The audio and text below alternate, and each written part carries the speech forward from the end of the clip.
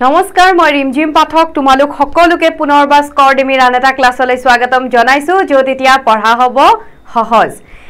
বহুতে ৰৈ আছে বহুতে ৰৈ আছে মই কমেণ্টবোৰ চাই আছিলোঁ। এজনে দিছে ভাত খালে নে নাই? ভাত খোৱা নাইও ক্লাছটো কৰিব লাগিব ন প্ৰথমতে ক্লাছ তাৰপিছত খোৱা বোৱা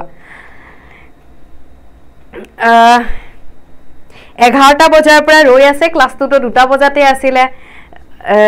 চাগে চাওঁতে কিবা অকণমান হেৰি হৈ গ'ল বা দিওঁতে কিবা অকণমান প্ৰব্লেম হৈ গ'ল।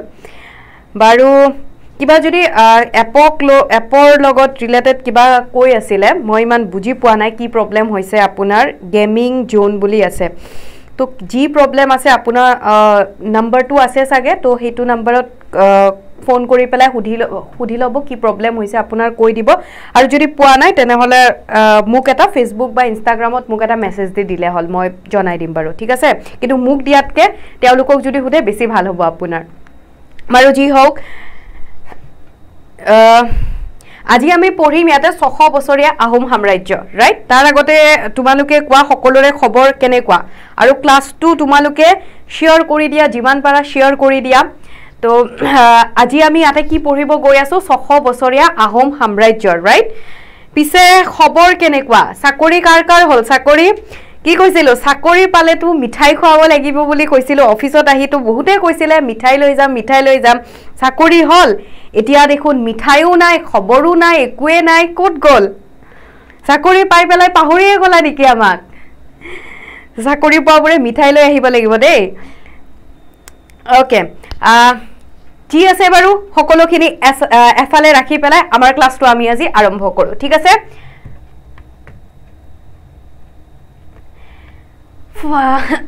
ইয়াতে আমাৰ কি আছে?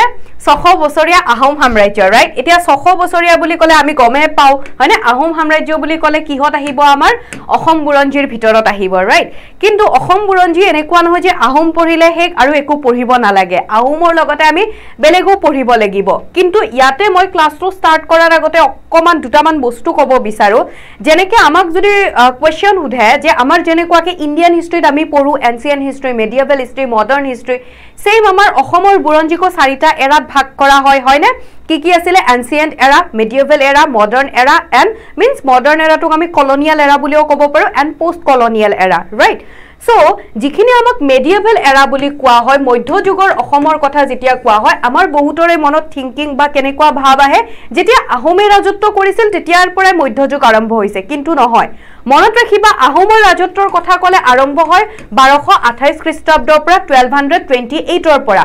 বাট যেতিয়া আমাৰ অসমৰ মধ্যযুগ আৰম্ভ হোৱা বুলি ক'ব অসমৰ যেতিয়া মেডিয়েভেল এৰা ষ্টাৰ্ট হোৱা বুলি ক'ব সেইটো কি হয়? টুৱেলভ হাণ্ড্ৰেড ছিক্সত হয়। যেতিয়া বক্তিয়াৰ খিলিজীয়ে আমাৰ অসমত আমাৰ কামৰূপত এটেক কৰিছিলে তেতিয়াৰ পৰা কি হয়? আমাৰ অসমৰ মধ্যযুগ আৰম্ভ হয়। ঠিক আছে? মনত থাকিব এইটো বস্তু কনফিউজ নহ'বা ৰাইট আৰু সেই মধ্যযুগৰ অসমতে আমি এই ছশ বছৰীয়া আহোম সাম্ৰাজ্যৰ বিষয়ে পঢ়িব লাগে ৰাইট যিটো টপিক আমাৰ যিকোনো এক্সামৰ কাৰণে খুবেই ইম্পৰ্টেণ্ট তো আমি যেনেকৈ মই এইকেইদিন পঢ়াই আছোঁ প্ৰথমতে আমি কনচেপ্টখিনি বুজি ল'ম। প্ৰথমতে আমি ইয়াৰে কি আছিলে সেইখিনি পঢ়ি ল'ম বুজি ল'ম আৰু তাৰপিছত আমি তাৰপিছত আমি ইয়াৰে কুৱেশ্যনছবোৰ চাম অ'কে চোৱা এটা ক্লাছত মই তোমালোকক আহোম সাম্ৰাজ্য শেষ কৰিব নোৱাৰোঁ। পাৰিম বাট সেইটো মই মাৰাথান ল'ব লাগিব বহুত দীঘলীয়া ল'ব লাগিব। চ' আজি এইটো তোমালোকৰ পাৰ্ট ওৱান হ'ব আৰু এনেকুৱাকৈ গোটেই আহোম সাম্ৰাজ্য মই তোমালোকৰ লগত ডিছকাছ কৰিম অ'কে চ' এতিয়া চোৱা আহোম সাম্ৰাজ্য আমাৰ ছশ বছৰীয়া মিনছ একচুৱেলি পাঁচশ আঠান্নব্বৈ বছৰীয়া হয়। কিমান হয়? ফাইভ ৰাইট কিয়? কিমানত আৰম্ভ হৈছিলে? টুৱেলভ হাণ্ড্ৰেড আৰু ওঠৰশ ছাব্বিছ চনত এইটিন হাণ্ড্ৰেড যি বিখ্যাত য়ামদাবু সন্ধি হৈছিলে তেতিয়া এইখিনি সময়লৈকে কি হয়? আমাৰ পাঁচশ আঠান্নব্বৈ বছৰীয়া আহোম সাম্ৰাজ্য কিন্তু আমি ইমান পাঁচশ আঠান্নব্বৈ নকৈ পেলাই আমি কি কওঁ? ছশ বছৰীয়া আহোম সাম্ৰাজ্য ৰাইট তো কিমানৰ পৰা কিমানলৈকে আছিলে? মনত থাকিব? Assam history A to Z video' okay নিশ্চয় দিম নিশ্চয় দিম। আজি আহোম আহোমটো আগতে আমি শেষ কৰি লওঁ অ'কে চ' এতিয়া আহোমৰ কথা পঢ়িব গ'লে প্ৰথমতে আমি আহোমৰ কাৰ কথা পঢ়োঁ? আমি সকলোৱে জানো আহোমৰ প্ৰথম স্বৰ্গদেউ কোন আছিলে? চুকাফা আছিলে ৰাইট চ' সেই আহোমৰ প্ৰথম স্বৰ্গদেউ চুকাফাৰ পৰা আমি ডিছকাছ কৰিম আৰু এই ক্লাছটোৰ যিখিনি লিখা বা যি আছে গোটেইখিনি পি ডি এফ তোমালোকে পাই যাবা আৰু পি ডি এফ ক'ত পাবা মোৰ টেলিগ্ৰাম চেনেলত টেলিগ্ৰাম চেনেলটো কি হয়? বহুতে আছাও যদি জইন কোনোবাই হোৱা নাই তেনেহ'লে টেলিগ্ৰামত গৈ পেলাই জিম জিম এনেকৈ দি পেলাই স্কৰ ডেমি এনেকৈ চাৰ্জ কৰিবা তো তাতে তোমালোকে এই ক্লাছটোৰ পি ডি এফ পাই যাবা ঠিক আছে? অ'কে চ' বেছি দেৰি নকৰি পেলাই ক্লাছটো আৰম্ভ কৰোঁ আৰু তোমালোকে প্লিজ ক্লাছটো শ্বেয়াৰ কৰি দিবা অ'কে প্লিজ ক্লাছটো শ্বেয়াৰ কৰি দিবা আৰু ক্লাছটো আমি ষ্টাৰ্ট কৰিব গৈছোঁ। প্ৰথমতে কৈছোঁ ফাৰ্ষ্ট কনচেপ্ট দেন আমি কি পঢ়িম? কুৱেশ্যনছ পঢ়িম ৰাইট তো আমি যদি কনচেপ্ট নাজানাকৈ কুৱেশ্যনত জাম্প কৰোঁ তেনেহ'লে বহুত বস্তু আমাৰ খেলি মেলি লাগি যায়। বহুতে হয়তো অসম বুৰঞ্জীৰ কথা বহুত ভালকৈ জানে মোতকৈও হয়তো বহুত ভালকৈ জানে বহুতে। চ' হয়তো নতুন কিবা এটা শিকিব পাৰিবা এটা কিবা হ'লেওতো শিকিব পাৰিবা হয়নে? তো ক্লাছটো চাই থাকা বা তোমালোকৰ কোনোবা বেলেগ বন্ধু বান্ধৱীক সুবিধা হোৱা হোৱাকৈ ক্লাছটো শ্বেয়াৰ কৰি দিয়া। তো প্ৰথম কথা হ'ল আমি ক্লাছটো ষ্টাৰ্ট কৰিব গৈ আছোঁ। প্ৰথম কথা হ'ল আমি জানিব লাগিব চুকাফা যিটো আমি চুকাফা দেখিছোঁ। তো কি হয় আহোমসকল একচুৱেলি আমাৰ অৰিজিনেল তেওঁলোক অসমৰ নাছিলে। তেওঁলোক চাউথ ইষ্ট এছিয়াৰ পৰা আহিছিলে ৰাইট ক'ৰ পৰা আহিছিলে? চাউথ ইষ্ট এছিয়াৰ পৰা আহিছিলে অ'কে চাউথ ইষ্ট এছিয়াৰ মুংমাওৰ পৰা তেওঁলোক আহিছিলে হয়নে? এইখিনি বস্তু আমি জানো চাউথ ইষ্ট এছিয়াৰ মুংমাওৰ পৰা তেওঁলোকে আহিছিলে। তো চাউথ ইষ্ট এছিয়াৰ শ্বান ব্ৰাঞ্চৰ টাই বা থাই ফেমিলিৰ পৰা তেওঁলোকে বিলং কৰিছিলে। কুৱেশ্যন সুধিব পাৰে কি ব্ৰাঞ্চৰ আছিলে? চান ব্ৰাঞ্চৰ আছিলে আৰু এই চান ব্ৰাঞ্চৰ তেওঁলোকে টাই অৰ থাই টাই বুলিও ক'ব পাৰোঁ থাই বুলিও ক'ব পাৰোঁ টাই অৰ থাই ফেমিলিৰ পৰা তেওঁলোক বিলং কৰিছিলে। তো মুংমাওৰ পৰা twelve hundred twelve hundred fifteen A ডিত অৰ্থাৎ বাৰশ পোন্ধৰ খ্ৰীষ্টাব্দত মুংমাওৰ পৰা চুকাফাই মুংমাও নিজৰ ঠাই মুংমাও এৰি পেলাই অসমৰ ফালে অৰ্থাৎ মুংমাও এৰি আহে। ঠিক আছে? এতিয়া তেওঁ কিয় আহিছিলে?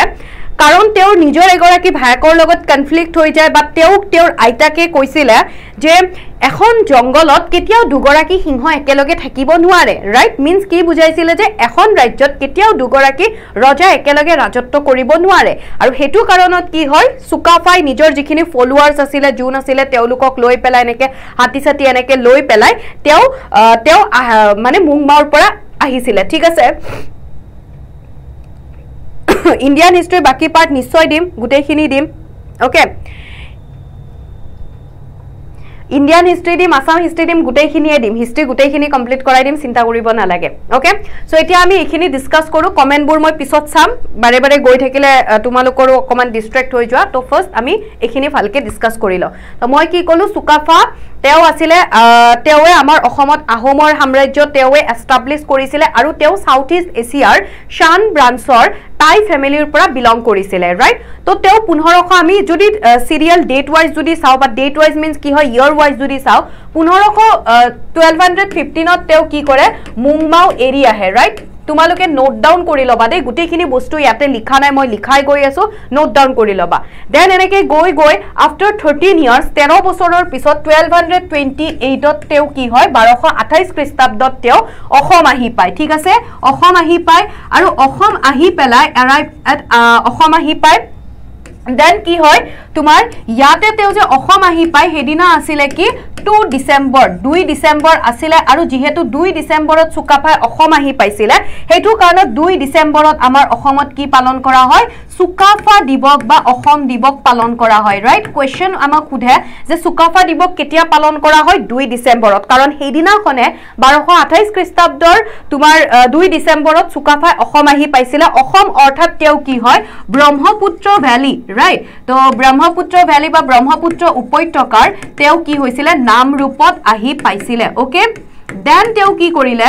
অসমত যিখিনি ট্ৰাইব আছিলে সেই ট্ৰাইবখিনিৰ মাজ ট্ৰাইবখিনিৰ লগত জনগোষ্ঠীবোৰৰ লগত তেওঁ বন্ধুত্ব স্থাপন কৰা আৰম্ভ কৰিলে। আৰু এটা কথা আমাক সোধে যে চুকাফাই যে আমাৰ টুৱেলভ হাণ্ড্ৰেড টুৱেণ্টি এইটত বাৰশ আঠাইছ খ্ৰীষ্টাব্দত অসম আহিছিলে। কি পৰ্বত পাৰ হৈ আহিছিলে? পাটকাই পৰ্বত পাৰ হৈ পেলাই তেওঁ অসমত আহিছিলে। এইটো কুৱেশ্যন সোধে। পাটকাই পৰ্বত বা পাটকাই ৰেঞ্জ পাৰ হৈ পেলাই তেওঁ অসমত আহিছিলে ৰাইট দেন তেওঁ লাহে লাহে মানুহবোৰৰ লগত তেওঁ ইণ্টাৰেকশ্যন কৰিব ধৰে কথা বতৰা পাতি তেওঁলোকৰ লগত বন্ধুত্ব তেওঁ স্থাপন কৰিব ধৰে। আৰু এনেকুৱাকৈ টুৱেলভ হাণ্ড্ৰেড ফিফটি থ্ৰীত তেওঁ চৰাইদেউত ৰাজধানী পাতে। আহোমৰ ৰাজধানী তেওঁ প্ৰথম কি হয়? চৰাইদেউত পাতে। পাতে কুৱেশ্যন আমাক সোধে আহোমৰ প্ৰথম ৰাজধানী কি আছিল ক'ত আছিলে? চৰাইদেউত আছিলে ৰাইট কিমান চনত প্ৰতিষ্ঠা কৰা হৈছিলে? Twelve hundred fifty three A ডিত প্ৰতিষ্ঠা কৰা হৈছিলে ঠিক আছে? দেন তেওঁ ইয়াতে আহি পেলাই প্ৰথম খেতি কৰা আৰম্ভ কৰিছিলে অ'কে দেন আমি জানিব লাগিব যে চুকাফাই দুটা পোষ্ট ইণ্ট্ৰডিউচ কৰিছিলে ঠিক আছে? মই আমি যদি চাওঁ চুকাফাই দুটা পোষ্ট ইন্ট্ৰডিউচ কৰিছিলে। এটা আছিলে কি? বুঢ়া গোহাঁই আৰু এটা কি আছিলে? বৰ গোহাঁই আছিলে। লিখি ল'বা তোমালোকে। এটা চুকাফাই দুটা পোষ্ট ইন্ট্ৰডিউচ কৰিছিলে। এটা আছিলে বুঢ়া গোহাঁই আৰু এটা কি আছিলে? বৰ গোহাঁই আছিলে। অ'কে তো চুকাফাৰ ওপৰত যদি আমাক কুৱেশ্যন সোধে এনেকে এইখিনিৰ ওপৰতে সুধিব। আৰু এনেকুৱাকে টুৱেলভ হাণ্ড্ৰেড ছিক্সটি এইটত কি হৈ যায়? চুকাফাৰ মৃত্যু হৈ যায়। আমি যদি ইয়ৰ হিচাপে যদি চাওঁ কোনটো ইয়াৰত কি হৈছিলে অকণমান যদি ৰিভাইজ কৰোঁ টুৱেলভ হাণ্ড্ৰেড ফিফটিনত বাৰশ বাৰশ পোন্ধৰ খ্ৰীষ্টাব্দত মুংমাও এৰি আহি পেলাই বাৰশ আঠাইছ খ্ৰীষ্টাব্দৰ দুই ডিচেম্বৰত অসম আহি পাইছিলে পাটকাই পৰ্বত পাৰ হৈ পেলাই। দেন বাৰশ তিৰাৱন্ন খ্ৰীষ্টাব্দত টুৱেলভ হাণ্ড্ৰেড ফিফটি থ্ৰীত তেওঁ চৰাইদেউত ৰাজধানী পাতে আৰু কি হয় টুৱেলভ হাণ্ড্ৰেড ছিক্সটি এইটত তেওঁৰ মৃত্যু হৈ যায়। তেওঁ দুটা পোষ্ট ইন্ট্ৰডিউচ কৰিছিলে বুঢ়া গোহাঁই আৰু বৰ গোহাঁই ৰাইট তো তেওঁ কি কৰিলে? তেওঁ তেতিয়া ক'লে যে এতিয়া ৰাজ্য তেওঁ যেতিয়া নিজৰ ৰাজ্য প্ৰতিষ্ঠা কৰিলে তেতিয়া তেওঁ ক'লে যে এতিয়াৰ পৰা যিখিনি কাম হ'ব গোটেইখিনিৰে আমি লিখি ৰাখিম গোটেইখিনিৰে আমি নোট কৰি ৰাখিম ৰাইট আৰু তেওঁৱে প্ৰথম আছিলে যোনে অসমত আমাৰ বুৰঞ্জী লিখা আৰম্ভ কৰিছিলে। আমি জানো যে আহোমসকলে প্ৰথমতে বুৰঞ্জী লিখা আৰম্ভ কৰিছিলে কাৰ সময়ৰ পৰা? চুকাফাৰ সময়ৰে পৰা তেওঁ কি হৈছিলে? বুৰঞ্জী লিখা আৰম্ভ কৰিছিলে। ক্লিয়াৰ তো চুকাফাৰ ওপৰত আহিলে এনেকুৱা কুৱেশ্যন আহিব ইয়াৰ ওপৰত আহিব। আৰু কেনেকুৱা কি আহে সেইখিনি কুৱেশ্যন আনিছো। প্ৰথমতে concept then question okay then এতিয়া চোৱা চুকাফাৰ পিছত চুকাফাৰ পিছত কি হয়? লগে লগে তোমাৰ মানে চুকাফাৰ পিছত তেওঁৰ ইয়াতে যিহেতু আমাৰ চুডাংফা আছে চুডাংফা নহয়। চুকাফাৰ পিছত তেওঁৰ পুতেক চুতেউফা ৰজা হয় অ'কে চুকাফাৰ পিছত আমাক যদি সোধে যে চুকাফাৰ পিছত কোন ৰজা হয়? চুতেউফা হয়। চুকাফা দেন চুতেউফা অ'কে তো ইয়াতে মই অকণমান কৈ দিছোঁ বুজি পাবৰ কাৰণে। তাৰ পাছত চুতেউফাৰ পিছত আৰু এনেকৈ কেইগৰাকীমান ৰজা হয়। আৰু এনেকুৱাও সময় এনেকুৱাও সময় যায় যে যিখিনি সময়ত কোনো ৰজা নাথাকে অকল মন্ত্ৰী পৰিষদে ৰাজ্য পৰিচালনা কৰে অৰ্থাৎ ৰাজ্যৰ শাসনভাৰ চায় ঠিক তেনেকুৱাকে একেবাৰে শেষৰ ফালে যদি চাওঁ তেনেহ'লে এগৰাকী ৰজা আছিলে যাৰ নাম আছিলে তাওখাম তাওখামতি ঠিক আছে? তো তাওখামতিৰ মৃত্যুৰ পিছত কিছু সময় কিছু বছৰ ধৰি পেলাই মন্ত্ৰীমণ্ডলে তেওঁলোকৰ আহোম ৰাজ্য পৰিচালনা কৰে। একচুৱেলি হৈছিলে কি? তাও খামটি যেতিয়া এবাৰ অকণমান ষ্টৰি টাইপ কৈ আছো তাও খামটি যেতিয়া এবাৰ চিকাৰলৈ গৈছিলে যাওঁতে তেওঁৰ যিগৰাকী ডাঙৰ ৰাণী আছিলে তেওঁ সৰু ৰাণীগৰাকীক মিছা এটা অপৰাধত মানে ফচাই দি পেলাই তেওঁক নিৰ্বাসন দিয়াইছিলে অৰ্থাৎ ৰাজ্যৰ পৰা ওলাই দিছিলে। অ'কে? তো যেতিয়া তাও খামটিৰ মৃত্যু হ'ল তাৰ পাছত তেওঁৰ কোনো সন্তান নথকাত কোনে উত্তৰাধিকাৰী হ'ব কোনে ৰজা হ'ব এইবোৰ চাই পেলাই যেতিয়া তেওঁলোকে বিচাৰ খোচাৰ কৰিলে তেতিয়া দেখিলে যে এজন ল'ৰাক মানে দেখিলে বামুণৰ ঘৰত অৰ্থাৎ ল'ৰা এজনক খেলি থকা দেখিলে যে ল'ৰাগৰাকী দেখাত আহোমৰ বংশৰ নিচিনা আছিলে আহোমসকলৰ নিচিনা আছিলে। আৰু যেতিয়া বিচাৰ খোচাৰ কৰি গম পালে তেওঁলোকে গম পালে যে সেই ল'ৰাগৰাকী ল'ৰাজন তাওখামতিৰে পুতেক আছিলে। আৰু সেই ল'ৰাগৰাকীৰে নাম হৈছে চুদাংফা যাক আমি আহোমৰ বা অসমৰ ইতিহাসত বামুণী কোঁৱৰ বুলি জানো ৰাইট কিয় বামুণী কোঁৱৰ বুলি জানো? কাৰণ তেওঁ বামুণৰ ঘৰত থাকি দীঘল ডাঙৰ দীঘল হৈছিলে চ' বামুণী কোঁৱৰ। এতিয়া হৈছিলে কি যেনেকে মই ক'লো যে তাও ডাঙৰ গৰাকী ডাঙৰ গৰাকী ৱাইফে কি কৰিছিলে যিগৰাকী সৰু এনেও সৰুবোৰ কি হয় সৰু ৱাইফবোৰ সকলোৰে সৰুবোৰ কি হয় অতি মৰমৰ হয় ৰাইট তো ছেইম ডাঙৰ ৱাইফেও হিংসাতে কি কৰিলে তাও খামতি নথকাৰ সুযোগ লৈ পেলাই ছেকেণ্ড গৰাকীক অৰ্থাৎ সৰু গৰাকীক এটা মিছা অপৰাধত ফচাই দিলে। আৰু যেতিয়া বিচাৰ চিচাৰ কৰা হ'ল তেতিয়া মানে এই অপৰাধত ছেকেণ্ড গৰাকীয়ে অপৰাধী বুলি মানে দোষী বুলি সাব্যস্ত হ'ল। তো তেতিয়া তেওঁ কি কৰিলে ডাঙৰ গৰাকীয়ে তেওঁক ৰাজ্যৰ পৰা ওলাই যাবৰ কাৰণে মানে নিৰ্বাসন দিয়ালে। আৰু সেইখিনি সময়ত তেওঁ আছিলে ছেকেণ্ড ছেকেণ্ড ৰাণীগৰাকী প্ৰেগনেণ্ট আছিলে। তো যেতিয়া ৰাজ্যৰ বাকী মানুহবোৰে মন্ত্ৰীমণ্ডলে যেতিয়া গম পালে তেওঁক কি কৰিলে তেওঁক একো অনিষ্ট নকৰি পেলাই তেওঁক বেলেগ এখন ঠাইত বেলেগ ঠাই মিনছ কি হয় নদী পাৰ কৰি তেনেকৈ কোৱা হয় তেওঁক পঠাই দিলে আৰু তেওঁ তাত গৈ পেলাই ৰাজ্যৰ পৰা ওলাই গৈ পেলাই এগৰাকী বামুণৰ ঘৰত আছিলে আৰু তাতে তেওঁ এই চুডাংফাক জন্ম দিয়ে। জন্ম দি পেলাই তাতে এই ৰাণীগৰাকীৰ মৃত্যু হয়। দেন যিহেতু বামুণৰ ঘৰত তেওঁ আছিলে আশ্ৰয় লৈছিলে তাতে চুডাংফাৰ জন্ম হয় আৰু সেই বামুণৰ ঘৰতে চুডাংফা ডাঙৰ দীঘল হয়। তো বিচাৰ খোচাৰ ঘৰত গম পালে আৰু সেইটো কাৰণত তেওঁ বামুণী কোঁৱৰ বুলি কোৱা হয়। ঠিক আছে? এতিয়া কথাটো হ'ল যেতিয়া তেওঁ বামুণৰ ঘৰত যিহেতু তেওঁ ডাঙৰ দীঘল হৈছে তেনেহ'লে তেওঁ ৰজা হোৱাৰ পিছত তেওঁকতো লৈ আহিল ৰজা হিচাপে। তো ৰজা হোৱাৰ পিছত তেওঁ তেওঁৰ সেইখিনি সময়ত আহোমৰ ৰাজ্যত বামুণৰ ব্ৰাহ্মীনিজিমৰ প্ৰভাৱটো পৰিবনে নাই? নিশ্চয় পৰিব। আমাক কুৱেশ্যন এটা সুধিব পাৰে যে আহোমসকলৰ আহোমসকলে কাক পূজা কৰিছিলে? তো আহোমসকলৰ যিগৰাকী দেইটি আছিলে তেওঁ আছিলে সোমদেউ অ'কে তো তেওঁলোকে সোমদেউক পূজা কৰিছিলে। কিন্তু যেতিয়া চুডাংফা ৰজা হ'ল ৰজা হোৱাৰ পিছত আহোমৰ আহোম সাম্ৰাজ্যত ব্ৰাহ্মীনিজিমৰ প্ৰভাৱটো লাহে লাহে পৰিব ধৰিলে। ঠিক আছে? দেন এটা বস্তু মনত ৰাখিবা আমাক কুৱেশ্যন সোধে তেওঁৰ ওপৰত তেওঁ আহোম ৰাজ্যত বা আহোম সাম্ৰাজ্যত এটা প্ৰথা এটা ইন্ট্ৰডিউচ কৰিছিলে যিটোক কি বুলি কোৱা হয়? শিঙৰি ঘৰত উঠা প্ৰথা বুলি কোৱা হয়। শিঙৰি ঘৰত উঠা প্ৰথা কোনে প্ৰৱৰ্তন কৰিছিলে? কুৱেশ্যন সুধিলে কি হ'ব? চুডাংফা শিঙৰি ঘৰত শিঙৰি ঘৰত উঠা প্ৰথাটো কি আছিলে যে শিঙৰি ৰাইট শিঙৰি মিনছ কি হয়? শিঙৰি কাঠেৰে বিশেষভাৱে সজা ঘৰ অৰ্থাৎ ৰজাৰ ৰাজ্য অভিষেক কৰিবৰ কাৰণে ৰজাৰ যে ৰাজ্য অভিষেক কৰে তাৰ কাৰণে শিঙৰি ঘৰত শিঙৰি গছেৰে বা শিঙৰি গছৰ কাঠেৰে বিশেষভাৱে এটা ঘৰ বনোৱা হয় সেইটোৱে শিঙৰি ঘৰত উঠা। কুৱেশ্যন সোধে কোনে প্ৰৱৰ্তন কৰিছিলে? চুডাংফাই কৰিছিলে ৰাইট তো চুডাংফাৰ ওপৰত যদি চাওঁ এইখিনি কথা মনত ৰাখিলে হ'ল তেওঁক কি বুলি জানো?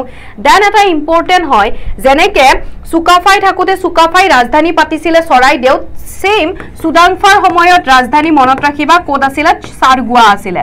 চুডাংফাৰ সময়ত আছিলে চাৰগোৱা। দেন চুডাংফাৰ পিছতো এনেকুৱাকে তেওঁৰ পিছত ৰজা হয় তেওঁৰ পুতেক চুজাংফাৰ ৰাইট মনত থাকিব? তেওঁৰ পিছত তেওঁৰ পুতেক চুজাংফাৰ ৰজা হয়। আৰু এনেকুৱাকে কিছুমান ৰজা আহে তেওঁৰ পিছত বেলেগ চুজাংফাৰ পিছত বেলেগ হ'ব।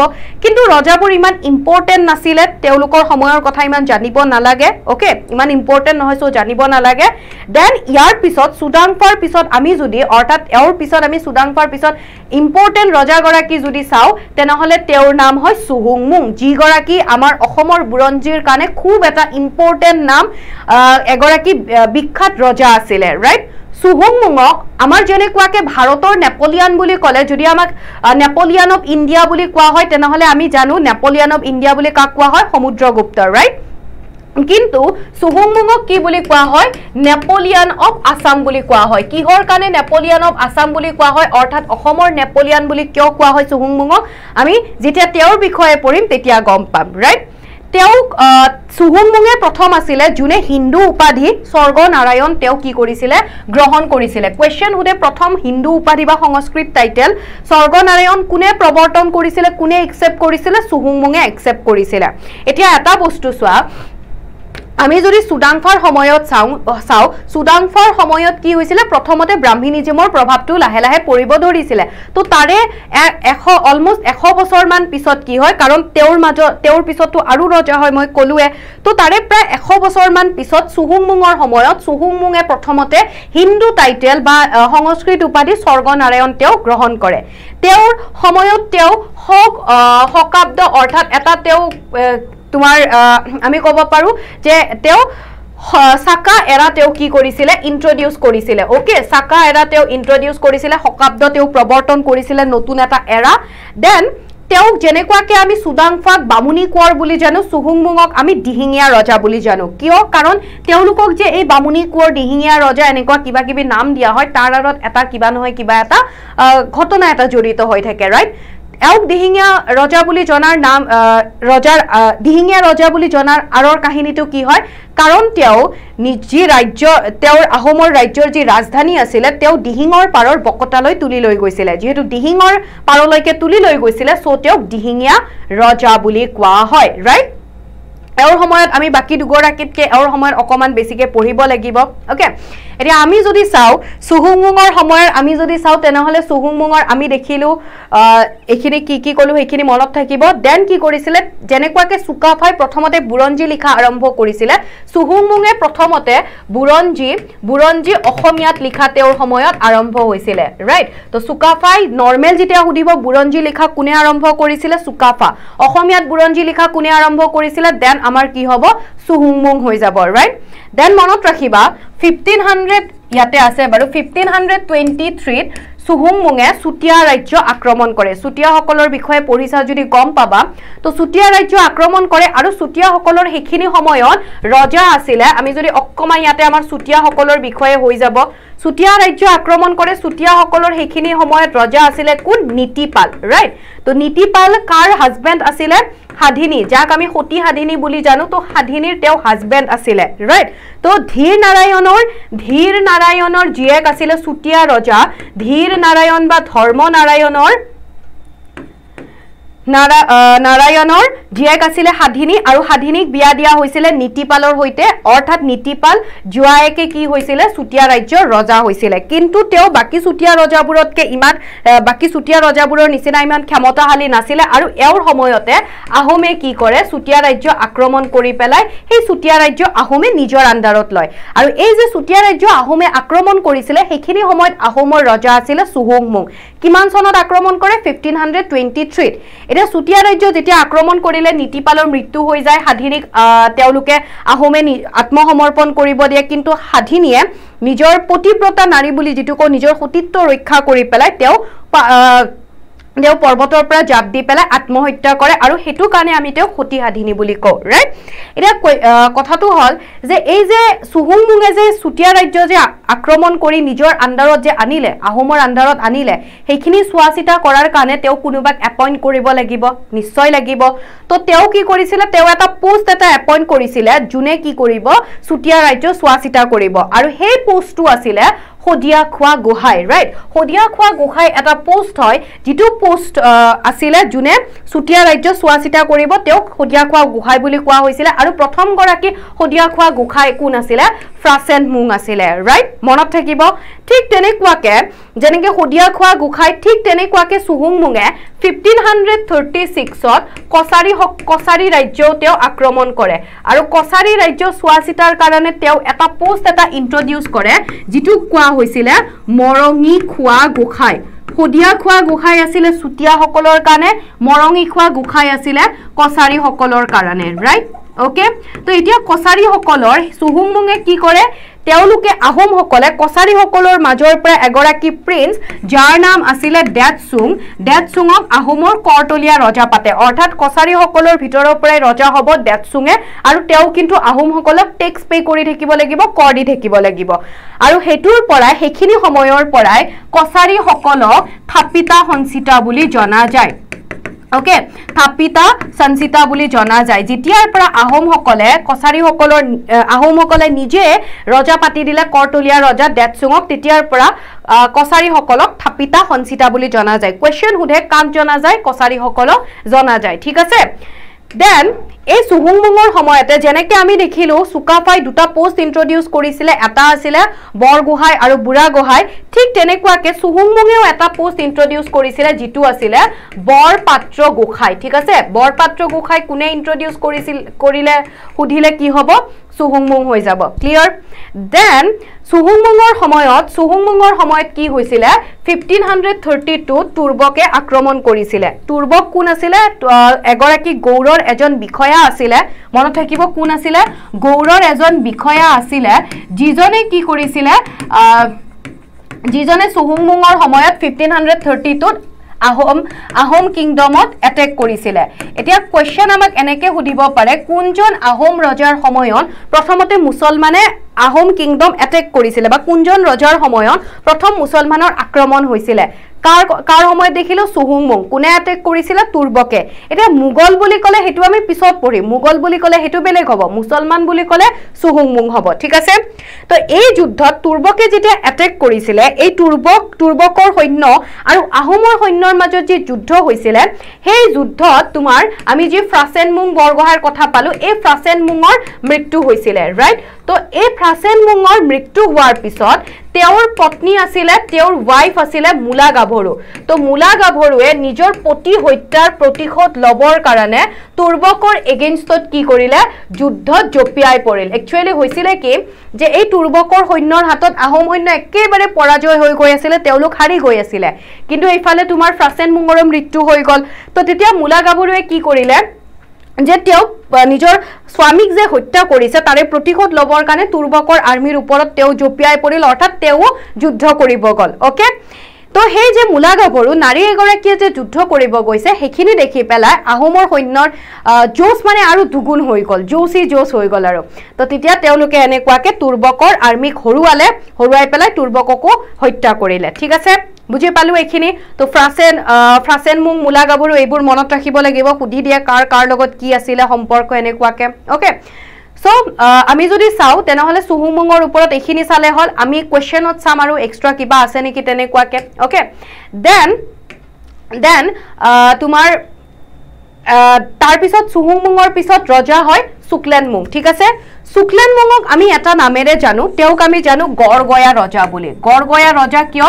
কাৰণ তেওঁ কাৰণ তেওঁ কি কৰিছিলে? আহোমৰ ৰাজধানী গড়গাঁওলৈকে তেওঁ স্থানান্তৰ কৰিছিলে চ' তেওঁক আমি সেয়ে আমি তেওঁক গড়গয়া ৰজা বুলি জানো। তেওঁৰ সময়ৰ আমি দুটা বস্তু মনত ৰাখিব লাগিব। তেওঁ নগাআলি নিৰ্মাণ কৰিছিলে নাগাআলি নিৰ্মাণ কৰিছিলে আৰু লগতে তেওঁ তেওঁ গড়গাঁও পুখুৰী বা গড়গাঁও টেংক তেওঁ নিৰ্মাণ কৰাইছিলে। কুৱেশ্যন সুধিব পাৰে গড়গাঁও টেংক কোনে নিৰ্মাণ কৰাইছিলে? শুক্লেনমুং বা অপশ্যনত আমাৰ শুক্লেনমুঙো থাকিব পাৰে গড়গয়াও থাকিব পাৰে গড়গয়া ৰজাও থাকিব পাৰে। ঠিক আছে? অ'কে তো তেওঁৰ পিছত যিগৰাকী ৰজা হয় বাকী তেওঁৰ ইমান ইম্পৰ্টেণ্ট নহয় তেওঁৰ পিছত যিগৰাকী ৰজা হয় তেওঁৰ নাম হয় চুকাম্ফা ৰাইট চুকাম্ফাক আমি খুৰা ৰজা বুলি জানো অ'কে খুৰা ৰজা বুলি কিয় জানো? কাৰণ তেওঁ হাতীৰ পৰা পৰি পেলাই তেওঁ খুৰা হৈছিলে চ' তেওঁক আমি কি বুলি জানো? খুৰা ৰজা বুলি জানো ঠিক আছে? বুজি পাইছো এইখিনি? পঢ়াই আছো মই কিবা দেখোন ইয়াতে পষ্টৰ কথা চলি আছে কোনে কি পষ্টত চাকৰি পাইছে? এইখিনি চোৱা তাৰপিছত কথা পাতিবা। ইয়াতে কি হয় চুকাম্ফাক আমি খুৰা ৰজা বুলি জানো। কিয়? কাৰণ তেওঁ হাতীৰ পৰা পৰি পেলাই তেওঁৰ এখন ভৰি চিৰদিনৰ কাৰণে খুৰা হৈ ৰৈছিলে। চ' তেওঁক খুৰা ৰজা বুলি জানো। তেওঁৰ এইটো ইম্পৰ্টেণ্ট তেওঁক কি বুলি জানো? আৰু তেওঁৰ সময়ৰ আৰু এটা বস্তু ইম্পৰ্টেণ্ট হয় সেইটো হৈছে যে তেওঁৰ সময়ত মাজুলী ট্ৰিটি চাইন হৈছিলে। অৰ্থাৎ treaty of Majuli. Majuli treaty স্বাক্ষৰিত হৈছিলে কাৰ সময়ত? চুকাম্ফা খুৰা ৰজা। কাৰ লগত হৈছিলে? কোচ আৰু আহোমৰ মাজত মাজুলী ট্ৰিটি স্বাক্ষৰিত হৈছিলে ৰাইট কিমান চনত হৈছিলে? ফিফটিন কি হৈছিলে? মাজুলী ট্ৰিটি স্বাক্ষৰিত হৈছিলে ঠিক আছে? খুৰা খুৰা ৰজা আৰু আহোমৰ সময়ত অ'কে এতিয়া কোচসকলৰ ফালৰ পৰা কোন আছিলে যদি কুৱেশ্যন সোধে? নৰনাৰায়ণ নৰনাৰায়ণ আৰু আহোমসকলৰ ফালৰ পৰা কোন আছিলে? আমি গমেই পালো আহোমসকলৰ ফালৰ পৰা আছিলে চুখাম্ফা বুজি পাইছা? বুজি পাইছানে?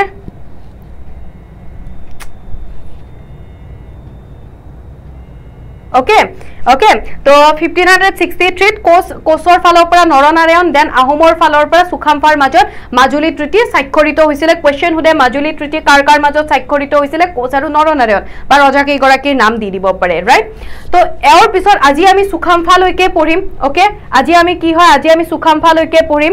দেন ছিক্সটিন হাণ্ড্ৰেড থ্ৰীত ইয়াতে যেনেকুৱাকৈ দিয়া হৈছে ছিক্সটিন হাণ্ড্ৰেড থ্ৰীত চুখাম্ফাৰ মৃত্যু হৈ যায় অ'কে চুখাম্ফাৰ পিছত তেওঁৰ তেওঁৰ চুকাম্পাৰ পিছত ৰজা হয় চুচেংফা অ'কে? এইখিনিলৈকে কিবা আছে?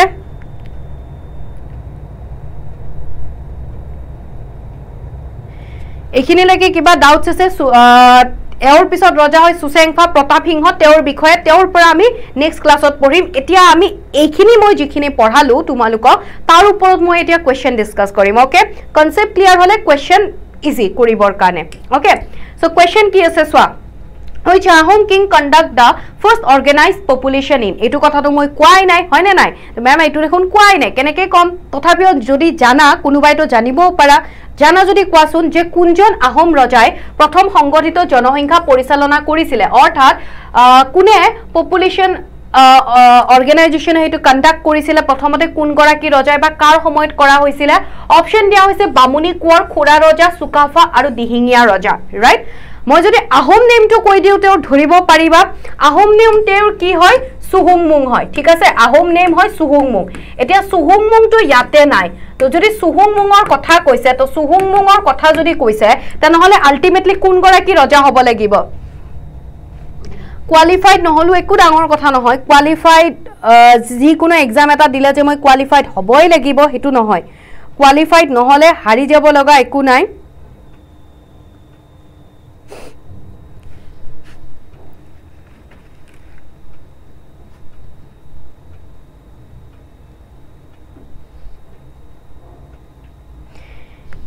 কোৱালিফাইড নহ'লেও কি হ'ল আৰু আমি চেষ্টা কৰি যাম হয়নে? তো আনচাৰ আহিছে কি হ'ব? দিহিঙীয়া ৰজা আছিলে right okay so' next question who was the first Borpatra Gohain of Ahom kingdom কোন আহোম ৰজাই অহ এইটো হেৰি হৈ গ'ল। Who was the first Borpatra Gohain of Ahom kingdom অৰ্থাৎ আহোম ৰাজ্যৰ প্ৰথম বৰপাত্ৰ গোসাঁই কোন আছিলে সেইটো সুধিছে। অ'কে যেনেকুৱাকৈ মই তোমালোকক ক'লো প্ৰথম শদিয়া খোৱা গোসাঁই কোন আছিলে? প্ৰথম বৰপাত্ৰ গোসাঁই কোন আছিলে সেইটো সুধিছে। কনচেং বৰপাত্ৰ গোসাঁই আচুক বৰপাত্ৰ গোসাঁই লাঙি পানীচিয়া আৰু লাই বৰপাত্ৰ গোসাঁই। এতিয়া লাঙি পানীচিয়াটো বৰপাত্ৰ গোসাঁই নাছিলে। তেওঁ কি আছিলে? তেওঁ আছিলে শদিয়া খোৱা গোসাঁই ৰাইট তো তেওঁ শদিয়া খোৱা গোসাঁই যিহেতু আছিলে তো আমাৰ অপশ্যন চিটোতো কাৰেক্ট আনচাৰ নহ'ব। থাকিল কি কনচেং বৰপাত্ৰ গোসাঁই আচুক বৰপাত্ৰ গোসাঁই আৰু লাই বৰপাত্ৰ গোসাঁই। আনচাৰ কি হ'ব পাৰে আমাৰ? কনচেং আচুক আৰু লাই। মই অকণমান ইজি কৰি দিছোঁ। লাই বৰপাত্ৰও নহয় কনচেং আৰু আচুকৰ মাজত হ'ব। হয়তো কনচেং বৰপাত্ৰ গোসাঁই নহ'লে আচুক বৰপাত্ৰ গোসাঁই। আনচাৰ কি হ'ব? বা সকলোৱে জানে দেখোন। সকলোৱে জানে য়েছ আনচাৰ কি হ'ব? কনচেং বৰপাত্ৰ গোসাঁই ঠিক আছে? Okay so' next question which of the following is incorrect about Sukaphaa চুকাফাৰ বিষয়ে তলৰ কোনটো অশুদ্ধ? এনেকুৱা কুৱেশ্যনবোৰ চাব ট্ৰাই কৰিবা। যেনেকৈ ইয়াতে আমাক দিয়া হৈছে চুকাফাৰ বিষয়ে কোনটো ইনকাৰেক্ট অশুদ্ধ ৰাইট তাৰে কাৰণে আমি কি কৰিব লাগিব? চুকাফাৰ বিষয়ে যিখিনি কথা কৈছে গোটেইকেইটা ষ্টেটমেণ্ট আমি জানিব লাগিব। তো গম পালেহে আমি গম পাম কোনটো অশুদ্ধ হয়। আমাক কি দিয়া হৈছে? He establish his capital at Charaideo in twelve hundred fifty three A D right কেতিয়াবা কুৱেশ্যন আমাক এনেকৈ দিব পাৰে আমি জানো যে তেওঁ চৰাইদেউত ৰাজধানী পাতিছিলে ৰাইট কিন্তু হয়তো চনটো আমাক বেলেগকৈ দি দিব পাৰে টুৱেলভ হাণ্ড্ৰেড ফিফটি থ্ৰী এইটো কাৰেক্ট হয়নে নাই কোৱা? হয়তো মই কি কৈছোঁ কাৰেক্ট হ'বও পাৰে নহ'বও পাৰে। তো মিনছ কি হয় যদি এইটো কাৰেক্ট হৈছে কেতিয়াবা হয়তো আমাক চনটো বেলেগকৈ দিব পাৰে তো সেইটো জানিব লাগিব। He first began writing history অৰ্থাৎ তেওঁ প্ৰথমে বুৰঞ্জী লিখা আৰম্ভ কৰিছিল কৰিছিলেনে? He introduce the post Bor Borbarua তেওঁ প্ৰথমতে বৰবৰুৱা পোষ্টটো ইণ্ট্ৰডিউচ কৰিছিলে Sukaphaa day is celebrated on second December দুই ডিচেম্বৰত চুকাফা দিৱস পালন কৰা হয়। কোনটো হ'ব পাৰে? আনচাৰ কি হ'ব পাৰে? আনচাৰ আহিছে? অ'কে আহিছে। য়েছ তোমাৰ কি হয়? হি এষ্টাব্লিছ কেপিটেল চৰাইদেউত ইণ্ট্ৰডিউচ চৰাইদেউত ৰাজধানী পাতিছিলে বাৰশ তেৱন্ন খ্ৰীষ্টাব্দতে। কাৰেক্ট হয়? Then he first began writing history প্ৰথমতে বুৰঞ্জী লিখা আৰম্ভ কৰিছিলে কৰিছিলে। যদি ইন আছামিজ বুলি দিলে হয় তেনেহ'লে কিন্তু চুকাফা নহ'ল হয়। কোন হয় মই কৈছোঁ? Then he introduce the post Borbarua তেওঁ দুটা পষ্ট ইণ্ট্ৰডিউচ কৰিছিলে সেইটো আমি জানো কিন্তু কি আছিলে? বৰগোহাঁই আৰু বুঢ়াগোহাঁই আছিলে ৰাইট তো তেওঁ বৰগোহাঁই আৰু বুঢ়াগোহাঁই পষ্ট দুটাহে ইণ্ট্ৰডিউচ কৰিছিলে। ইয়াতে আমাক কি দিছে? বৰবৰুৱা বৰবৰুৱা এতিয়ালৈকে পোৱাই নাই। বৰবৰুৱা বৰফুকন আমি পঢ়িমহে নেক্সট ক্লাছতহে পঢ়িম আমি। দেন বৰগোহাঁই আৰু বুঢ়াগোহাঁই বৰপাত্ৰ গোসাঁই বুলি যদি ক'লে হয় বৰপাত্ৰ গোসাঁই পদটো কোনে ইণ্ট্ৰডিউচ কৰিছিলে? তেনেহ'লে আমাৰ আনচাৰ কি হ'লে হয়? চুহুংমুং হৈ গ'লে হয় দিহিঙীয়া ৰজা হৈ গ'ল হয় ৰাইট দেন আছে চুকাফা ডে আমাৰ। ছেকেণ্ড ডিচেম্বৰত চেলিব্ৰেট কৰা হয় চুকাফা ডে বা আমাক কি হয় চুকাফা দিৱস নাইবা কি বুলি ক'ব পাৰে অসম দিৱস ৰাইট সেইদিনা অসম দিৱস বুলিও কোৱা হয়। য়েছ তো এইটোও কাৰেক্ট হয় এইটোও কাৰেক্ট আমাৰ কাৰেক্ট আনচাৰ কোনটো অশুদ্ধ এইটো অশুদ্ধ। হয়নে নাই? বুজি পাইছা? তো এনেকুৱাকৈ কুৱেশ্যন পঢ়িব লাগিব অকণমান নিজেও অকণমান ষ্টেণ্ডাৰ্ড লেভেলৰ কুৱেশ্যন প্ৰেক্টিছ কৰিবৰ কাৰণে ট্ৰাই কৰা।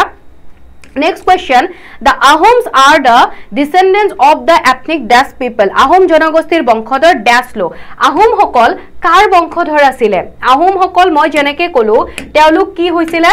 তেওঁলোকে শান ট্ৰাইবৰ পৰা তেওঁলোকে শান ব্ৰাঞ্চৰ পৰা তেওঁলোকে বিলং কৰিছিলে। ক'ৰ আছিলে? ছাউথ ইষ্ট এছিয়াৰ মুংমাওৰ পৰা আহিছিলে। তো সেই শান ব্ৰাঞ্চৰে কোনটো কোনটো কোনটো ফেমিলিৰ পৰা তেওঁলোক বিলং কৰিছিলে? অপশ্যন আছে বড়ো টাই কোচ আৰু ডিমাচা ৰাইট চ' আনচাৰ কি হ'ব? কাৰেক্ট আনচাৰ কি হ'ব? বড়ো টাই কি কি দিয়া আছে? বড়ো টাই কোচ আৰু ডিমাচা ৰাইট ত' কাৰেক্ট আনচাৰ আমাৰ কি হৈ যাব? টাই ৰাইট টাই বা ঠাই আহিছে? য়েছ আনচাৰ আহিছে। সকলোৰে কাৰেক্ট হৈছে।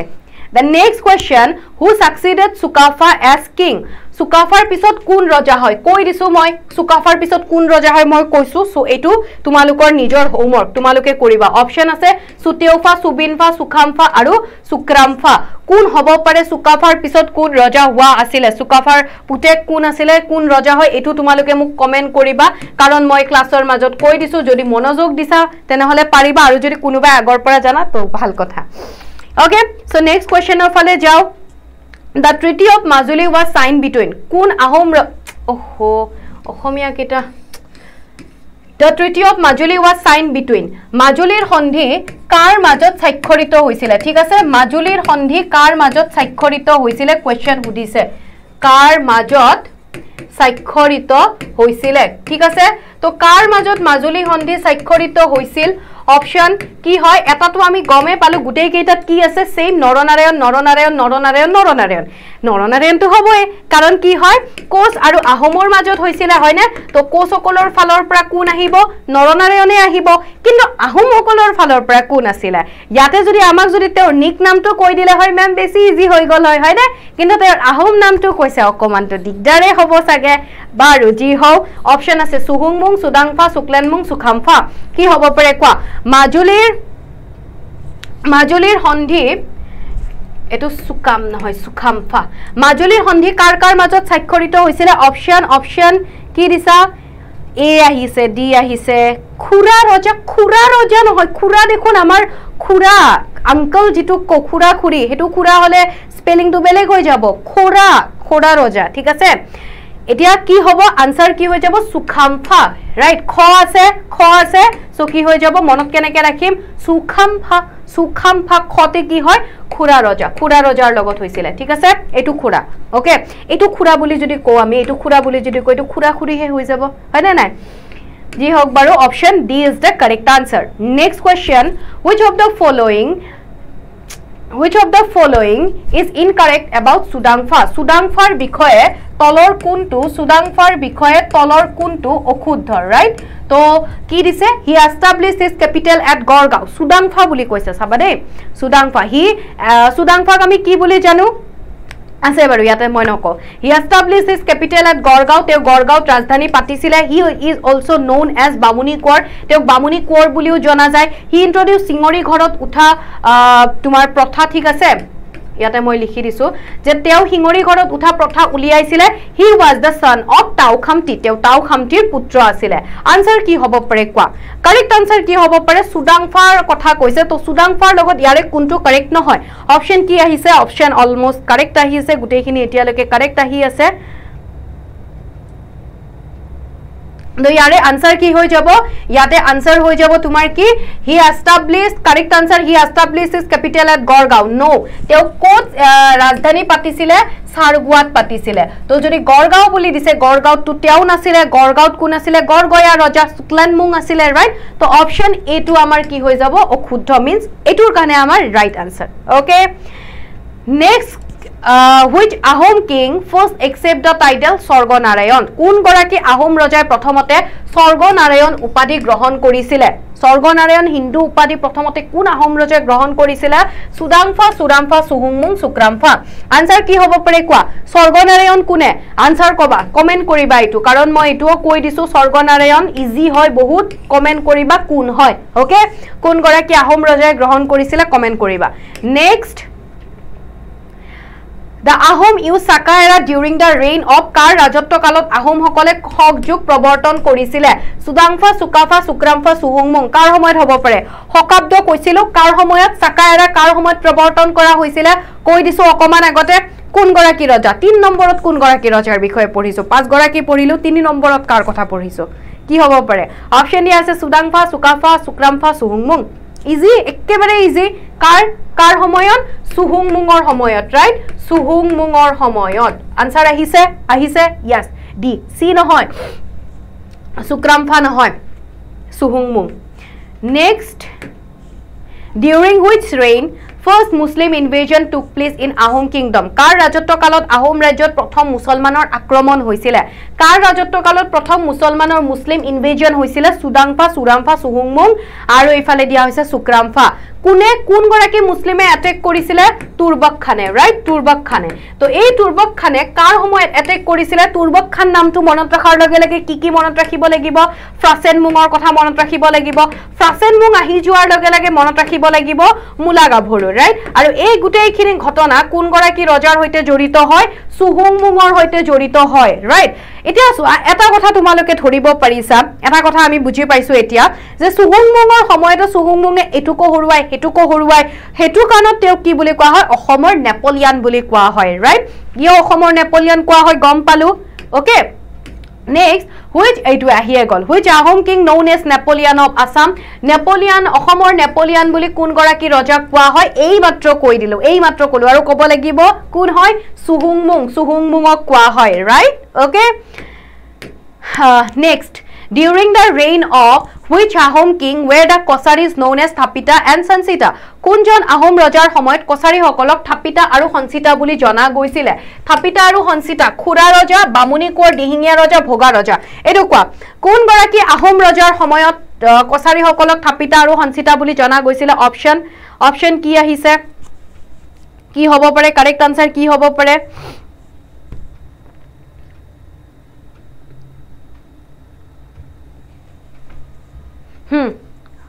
ৰাইট ৰাইট কি হয়? চি চিত কোন আছে? চুহু চুহুং মুং ৰাইট দিহিঙীয়া ৰজা আছে। চ' আল্টিমেটলি চুহুং মুং ত' মিনছ কি দেখিলোঁ? চুহুং মুঙৰ লগত বহুখিনি কুৱেশ্যনে আহিব পাৰে। কাৰণ তেওঁৰ সময়ত আমি বহুখিনি কথা গম পাওঁ যিবোৰ ইম্পৰ্টেণ্ট হয় জানিব লগা কথা হয়। আৰু এইখিনিয়ে আছিলে আজি আমাৰ আছাম হিষ্ট্ৰী অৰ্থাৎ আমাৰ যিখিনি আহোম কিংডম আছিলে আহোম কিংডমৰ এইখিনিয়ে আছিলে আজি আমাৰ। অ'কে অ'কে চ' ক্লাছটো প্লিজ শ্বেয়াৰ কৰি দিবা তোমালোকে। মই আশা ৰাখি আশা কৰিছোঁ তোমালোকে ক্লাছটো শ্বেয়াৰ কৰিবা বুলি। চ' এনেকৈ আমি আহোমৰ ছিৰিজটো কমপ্লিট কৰি লওঁ দেন আমি বেলেগ কিবা পঢ়িম আৰু বেলেগ নতুন টপিকৰ ওপৰত ডিছকাছ কৰিম অ'কে যাতে সকলোৰে সুবিধা হোৱাকৈ মই এনেকুৱাকৈ। মটিভেশ্যনেল স্পীক মটিভেশ্যন মই যিমানেই মটিভেশ্যন দি নাথাকোঁ কিয় কাৰো একো নালাগে। ময়ো আজি এটা কিবা শুনিম মটিভেশ্যন চাম কিবা চাম। মোক সেইদিনা আৰু এজনে কৈছে মটিভেশ্যন স্পীক কিবা এটা লাগে কাৰণে লাগে পঢ়িব ইচ্ছা নাযায়। যেতিয়ালৈকে আমি নিজৰ মনৰ পৰা মটিভেশ্যন নানো ন তেতিয়ালৈকে একো মটিভেশ্যন মানে হাজাৰজনৰ পৰা কথা শুনি থাকিলেও একো মটিভেশ্যন নাহে। নিজৰ মাইণ্ডটোক নিজৰ ফাৰ্ষ্ট মাইণ্ডটোক মটিভেট কৰিব লাগিব। অৰ্থাৎ আমি নিজৰ মনৰ পৰা ওলাব লাগিব। নাই মই কৰিম। বেলেগে যদি পাৰিছে বেলেগে মিনছ কি হয়? বেলেগটো বাদেই দিলোঁ বাৰু। মই কিয় নোৱাৰিম? মই পাৰিম। মোৰ তাত এনেকুৱা কি কমি আছে? হয়নে? মই পাৰিম। চ' প্ৰথমতে নিজক মটিভেট কৰিব লাগিব। তেতিয়া বেলেগ মটিভেশ্যন বাদ দিয়া আৰু কোনে ক'ত কি মটিভেশ্যন দি আছে একো গাত নালাগে। মিছা কথা সেইবোৰ। এদিন দুদিন লাগিব। যেনেকৈ আমাৰ পৰীক্ষাৰ ৰিজাল্ট দিয়াৰ দিনা কেনেকুৱা হয় যদি কোৱালিফাই নকৰোঁ সেই পঢ়িলে চাগে পালোঁ হয়। এই পূৰা পঢ়িম আৰু। নেক্সট যি এক্সাম আহিব পূৰা পঢ়িম আৰু। পূৰা পামে যেনেকৈ নহওক ল'বই লাগিব। সেই দুদিনৰ মটিভেশ্যন সেইটো দুদিনৰ জোচ সেইটো। তেনেকুৱা জোচ চিৰদিন নাথাকে। তো নিজৰে ষ্ট্ৰেটেজি এটা বনাই লোৱা এনেকৈ পঢ়িম সদায় পঢ়িম তেনেকুৱা। যে এক্সামৰ ৰিজাল্ট দিলে গাত লাগিব সেইটো ক'লোঁ ন দুদিনৰ। চবৰে হয়। তোমাৰ মোৰ বুলি নহয় চবৰে হয়। অ'কে